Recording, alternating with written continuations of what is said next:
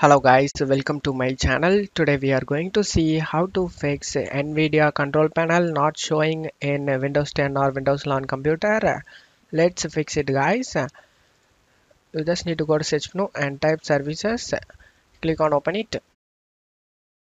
In services you just need to search for NVIDIA display container LS service.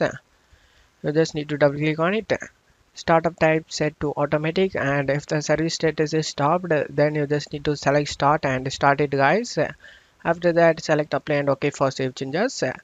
Now you need to search for nvidia local system container service. Double click on it. Startup type set to automatic and if the service status is stopped then you just need to start it. Select apply and ok for save changes. After doing this you just need to close stuff here and go ahead and restart your pc after restarting your PC, you can check if the problem solved or not. If the problem not solved, let's move on to the second solution guys. You just need to go to search menu and type run. Click on open it. In run window, you just need to type power cfg dot cpl. Click on OK.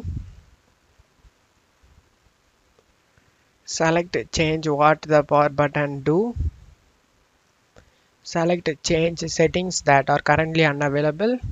And you just need to uncheck this option guys. Turn on fast startup and check it. And select save changes. Now you need to go ahead and restart your pc and after restarting your pc you can check if the problem solved or not.